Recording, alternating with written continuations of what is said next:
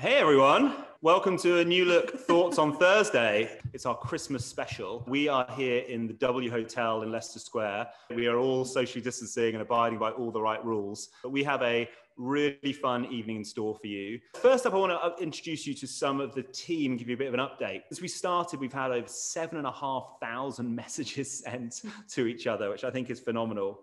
We've now got 50 industry mentors, we've got people from 45 different countries, which I think is phenomenal to think actually just how far around the world we've touched from Latin America through Europe, through the Middle East, Asia, down to Australasia. And we've actually got representatives from 114 different hospitality businesses, from people running their own enterprises right the way up to the giants like Marriott, Accor, IHG, and more. GrowthWorks Community Annual Awards. The first award, no surprise, it has to be Best Profile Picture. The winner by a country mile is the James Bond of hospitality, um, Alex Soderqvist. We don't have Alex with us, so we can't cut to his acceptance speech. best up and coming mentor. The winner is Cat. So congratulations, Cat.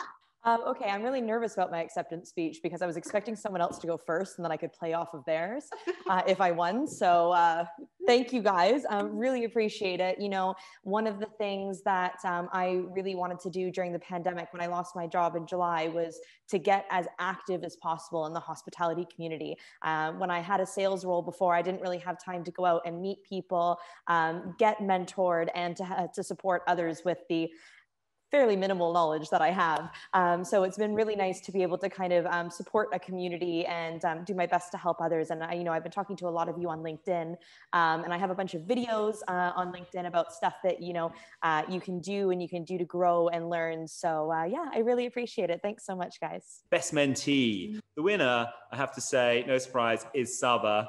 saying I'm really grateful and I feel really um, embarrassed because I'm not good at making speeches.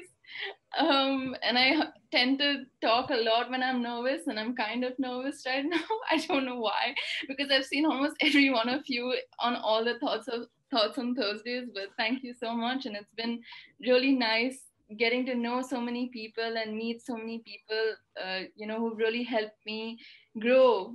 Uh, you know, as as is the goal of this program. So thank you so much, and I'm so honored and humbled. best mentor. The thing is, we couldn't just pick one, of course not. The winners are Angelo and Estelle. I just have a little speech here. Uh, let me begin. just kidding. thank you. Thank you for that. It was the community's choice. So the winner is Patrick. Well done, Patrick. I can see you on the call there. Well, I- those of you who know me, I'm never stumped for words. Thank you. It's bloody marvelous. Um, I get a huge amount of the out of the community anyway, right? I, I, I was saying to James the other day, our discussions went from market segmentation to the rise of ghost kitchens in Panama.